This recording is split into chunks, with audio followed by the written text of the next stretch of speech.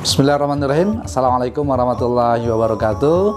Saya Agus Maskur Rosyadi Ketua DPC Himpunan Alumni IPB Kabupaten Subang Yang juga Wakil Bupati Subang Mengucapkan selamat Hari Raya Idul Fitri 1443 Hijriah. Taqabbalallahu minna wa minkum siyamana wa siyamakum.